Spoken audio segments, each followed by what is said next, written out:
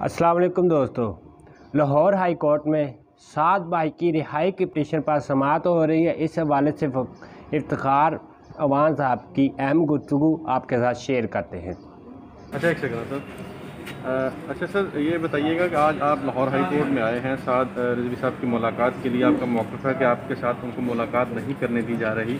तो इस हवाले से कोर्ट में क्या हुआ? ज़रा प्रोसीडिंग के हवाले से अपडेट कर दीजिएगा प्लीज़ हमने इस सिलसिले में होम सेक्रेटरी को भी दरख- दरख्वास्त दी दीगर जगह भी किया and they say we have the instruction from the prime minister के इन्हें मिलने की इजाज़त न दी है हुकूमत की तरफ़ से ये क्लियर इंस्ट्रक्शन हैं कि लीगल टीम को मिलने की इजाज़त न दी आज हमने जो रेड पिटीशन फ़ाइल की है, वो ये की है कि टीएलपी की लीगल टीम को मिलने की इजाज़त दी तो जज साहब ने ये कहा है कि सिर्फ़ ये कहें कि साद रिजवी के वकील को मिलने साद रिजवी की लीगल टीम को मिलने की इजाज़त because T L P is banned अच्छा सर ये बताइएगा कि साद रिजवी साहब की डिटेंशन सात मई तक थी तो अब क्या उसको बढ़ा दिया गया बढ़ा क्या दिया गया थर्टी डेज़ के लिए बढ़ा दिया गया।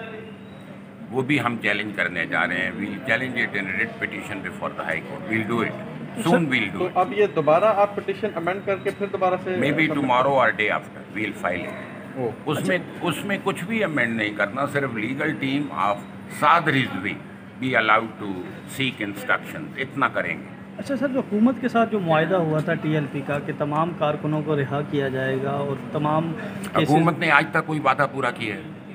फिर बदयानत लोगों को वादे याद नहीं कराए जाते वो बदयानत लोग हैं। थैंक यू जी तो मेरे दोस्तों, बदयानत लोगों को वादे याद नहीं करवाए जाते। हुकूमत वक़्त बदयानत लोग हैं।